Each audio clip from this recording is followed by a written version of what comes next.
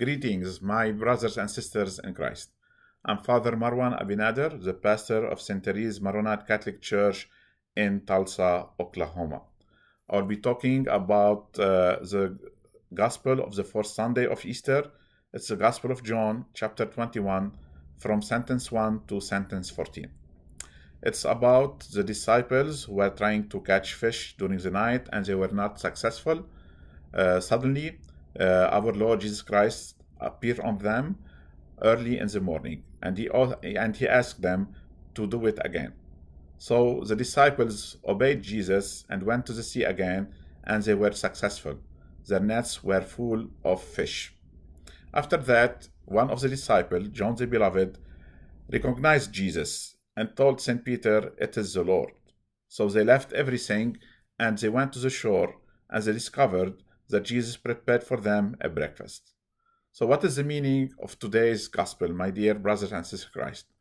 First, if we don't have Christ in our life, we are living in darkness.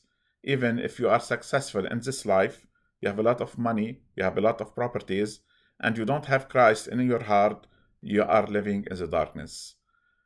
Jesus is the light of our life. He is the good shepherd, and He is the one who will guide us to the Father, and without Him, where our nets are empty. We will not be successful to go to heaven. Secondly, the one who discovered Jesus is John the Beloved, the, the disciple who loved him from the bottom of his heart. And John the Beloved is the wise man who built his home on the rock. When the storm came, his house was solid, was strong, and the, spore, and the storm was not able to destroy it. But if you don't love Christ, my dear brother and sisters in Christ, you will be this fool man, foolish man, who will build his home on the sand, and the storm will come, and the house will be destroyed. So, my dear brother and sister in Christ, the one who built his life on the word of God, of God and apply the words of God in his life will be strong against any temptation. He will be strong against Satan and who will be successful to reach the kingdom of heaven. Thirdly, the disciples of Jesus discovered that he prepared for them a breakfast. The breakfast in this gospel symbolizes the Eucharist, the communion. Yes, the communion, the body and blood of Christ. It's very important, my dear brother and sister in Christ, to have communion every Sunday to nourish our spirit.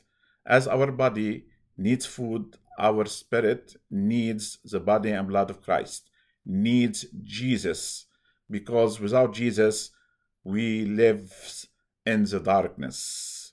So, at the end, my dear parishioners, my dear brothers and sisters in Christ, the words of Jesus are very important to our life. The body and blood of Jesus are very important for our life. Without them, we are in darkness. Whatever we do, our nets will be empty.